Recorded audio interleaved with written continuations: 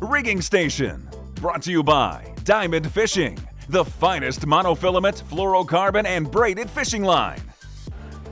Caught some monster queens on bait. I'm gonna try and jig one. Now this is a special outfit that we designed specifically for this fishery. It allows me to fish jigs in the four to 600 gram range. Right now I've got a 400 gram long jig on, an FSF jig, but more importantly is the line. We went from 30 pound down to 20 pound. So it's ultra thin, allows me to cut through that water column substantially easier than with the 30 pound, which is important in this depth. So it's the combination of the heavier jig, you know, in that four to 500 gram range and that lighter line. Let's see if it pays off here. There we go, hit right there. There he is, there he, oh, missed it. There he came back for it, right there. Like that. Just like that.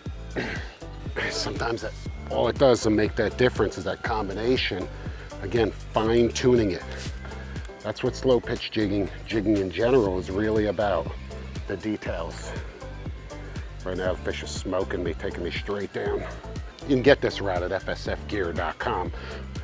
And it's again designed for specifically this type of fishing. Heavier jigs, deeper water. Got a Daiwa 35 HA loaded with 20 pound diamond line, diamond braid. Just a winch, just crank them up. Oh, so much fun on this tackle. You know, you've got to be real careful when you're loading your reels with braid.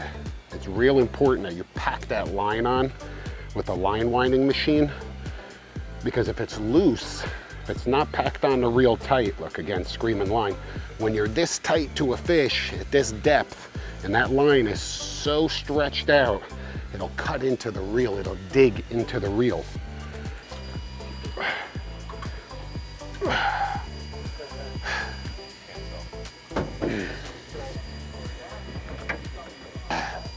That is one strong fish right there.